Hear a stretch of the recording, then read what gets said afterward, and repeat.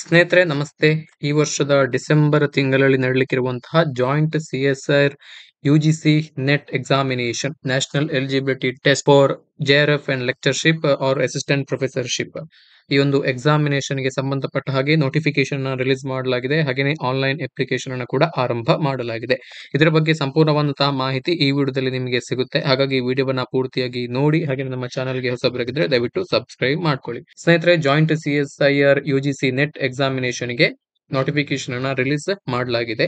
ಹಾಗೆಯೇ online application ಸಲ್ಲಿಸುವಂತಹ ಪ್ರಕ್ರಿಯೆ ಕೂಡ ಆರಂಭ ಆಗಿ ಹೋಗಿದೆ.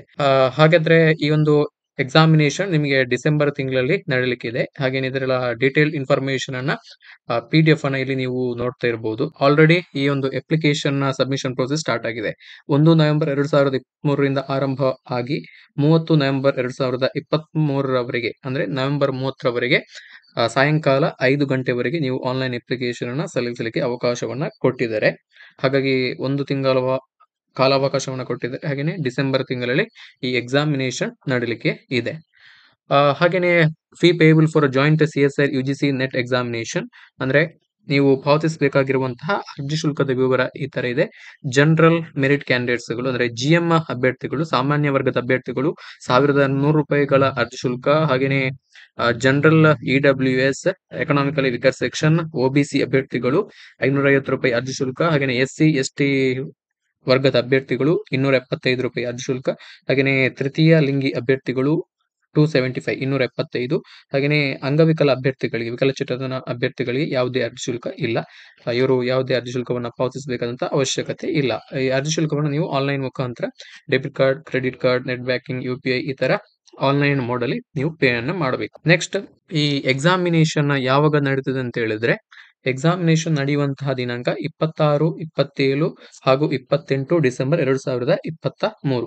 ಈ ದಿನದಲ್ಲಿ ಯಾವುದಾದ್ರೂ ಒಂದು ದಿನ ನಿಮಗೆ ಎಕ್ಸಾಮಿನೇಷನ್ ಅನ್ನ ಅಲರ್ಟ್ ಮಾಡುತ್ತಾರೆ. ಆ ದಿವಸ ನೀವು ಎಕ್ಸಾಮಿನೇಷನ್ ಅನ್ನ ಬರೀಬೇಕು. ಅಂತೂ ಡಿಸೆಂಬರ್ ತಿಂಗಳಲ್ಲಿ ಈ ಒಂದು ಎಕ್ಸಾಮಿನೇಷನ್ ನಡೀಲಿಕ್ಕೆ ಇದೆ. ಆ, ಮುಂದುವರೆದು ಈ ಒಂದು C S R U G NET joint C S R U G C NET ಎಕ್ಸಾಮಿನೇಷನ್ಗೆ ಯಾರೆಲ್ಲ ಅರ್ಜಿಯನ್ನ ಹಾಕ್ಬೋದು ಅಪ್ಲೈ ಅನ್ನ ಮಾಡ್ಬೋದು ಅಂತ ಹೇಳಿದ್ರೆ, ಈ ಪರೀಕ್ಷೆಯನ್ನ ಬರಿಬೋದು ಅಂತ ಹೇಳಿದ್ರೆ ಅಟ್ ಲೀಸ್ಟ್ ಪೋಸ್ಟ್ ಗ್ರಾಜುಯೇಷನ್ ಅನ್ನ ಕಂಪ್ಲೀಟ್ ಮಾಡಿರ್ಬೇಕು. ಯಾವುದೇ ಒಂದು ಅಂಗೀಕೃತ ವಿಶ್ವವಿದ್ಯಾನಿಲಯದಿಂದ ಪೋಸ್ಟ್ ಗ್ರಾಜುಯೇಷನ್ ಅನ್ನ ಕಂಪ್ಲೀಟ್ ಮಾಡಿರಬೇಕು. ಅದು ಜಿ ಎಂ ಅಭ್ಯರ್ಥಿಗಳಾಗಿದ್ರೆ, ಸಾಮಾನ್ಯ ವರ್ಗದ ಅಭ್ಯರ್ಥಿಗಳಿದ್ರೆ ಪೋಸ್ಟ್ ಗ್ರಾಜುಯೇಷನ್ ಅಲ್ಲಿ ಪಿ ಜಿಯಲ್ಲಿ at least fifty five marks ಅನ್ನ ತಗೊಂಡಿರಬೇಕು. ಹಾಗೇನೆ S C S T category ವ್ಯಾಪ್ತಿಯಲ್ಲಿ ಬರುವಂತಹ ಅಭ್ಯರ್ಥಿಗಳು ಅವರಿಗೆ ಒಂದಷ್ಟು ವಿನಾಯಿತಿಯನ್ನು ಕೊಟ್ಟಿದ್ದಾರೆ. ಐವತ್ತು ಪರ್ಸೆಂಟ್ ಮಾರ್ಕ್ ಅನ್ನ ಸ್ಕೋರ್ ಮಾಡಿದ್ರೆ ಅಗ್ರಿಗೇಟ್ ಮಾರ್ಕ್ಸ್ ಅನ್ನ ಗಳಿಸಿದ್ರೆ ಸಾಕು. ಇದು ಸಿ ಎಸ್ ಆರ್ ನೆಟ್ ಅನ್ನುವಂತ ಎಕ್ಸಾಮಿನೇಷನ್ ಅನ್ನುವಂಥದ್ದು ಕೇವಲ ಸೈನ್ಸ್ ಸ್ಟ್ರೀಮ್ನ ಸಬ್ಜೆಕ್ಟ್ ಗಳಿಗೆ ಮಾತ್ರ.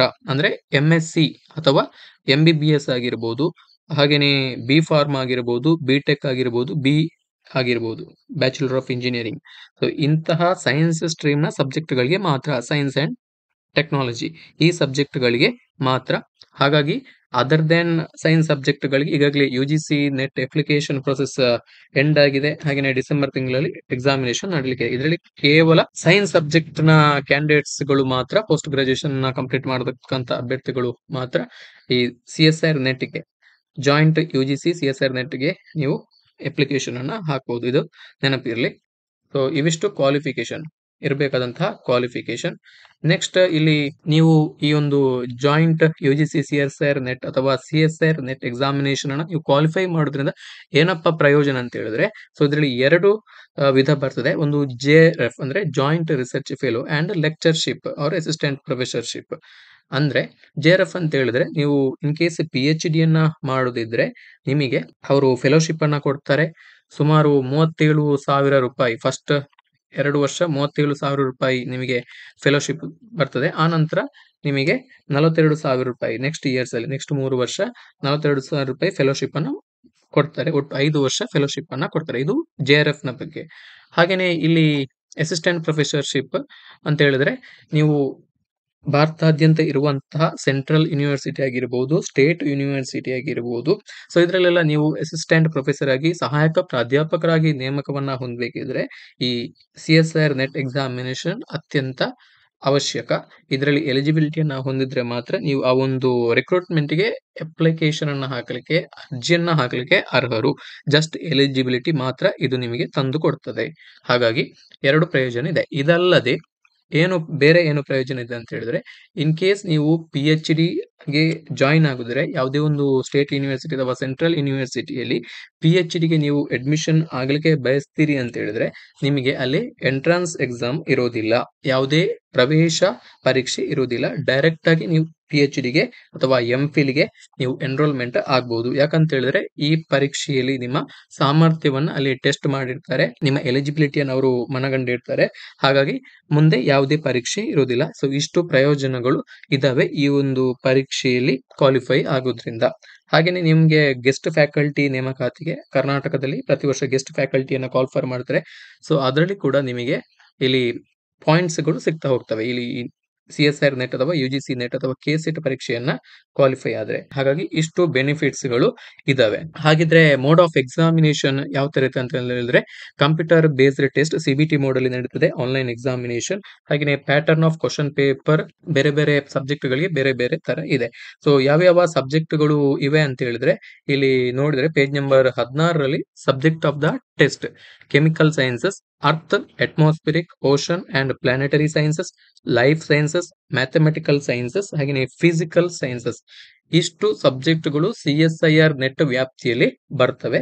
ಯು ಜಿ ಸಿ ನೆಟ್ ಸಬ್ ಅಲ್ಲಿ ಬಾರದಂತಹ ಸಬ್ಜೆಕ್ಟ್ಗಳು C S I R net subject ಅಲ್ಲಿ ಬರ್ತವೆ. ಹಾಗಾಗಿ ಇಷ್ಟು ಸಬ್ಜೆಕ್ಟ್ ಅಲ್ಲಿ ಸೈನ್ಸ್ ಸಬ್ಜೆಕ್ಟ್ ಅಲ್ಲಿ ಇರುವಂತಹ ಎಲ್ಲ ಅಭ್ಯರ್ಥಿಗಳು ಕೂಡ ನೀವು C S R net examination ಅನ್ನ ಬರೀಬಹುದು ಹಾಗೆಯೇ ಪ್ರತಿಯೊಂದು ಸಬ್ಜೆಕ್ಟ್ ಗಳಿಗೆ ಕೂಡ ಇಲ್ಲಿ ಪ್ಯಾಟರ್ನ್ ಆಫ್ ಕ್ವಶನ್ ಪೇಪರ್ ಬೇರೆ ಬೇರೆ ತರನೇ ಇದೆ. ಅದನ್ನ ಇಲ್ಲಿ ಕೊಟ್ಟಿದ್ದಾರೆ. ಪೇಜ್ ನಂಬರ್ ಫೋರ್ಟೀನ್ ಅಲ್ಲಿ. ಅದನ್ನ ನೀವು ನೋಡ್ಕೊಳ್ಳಿ.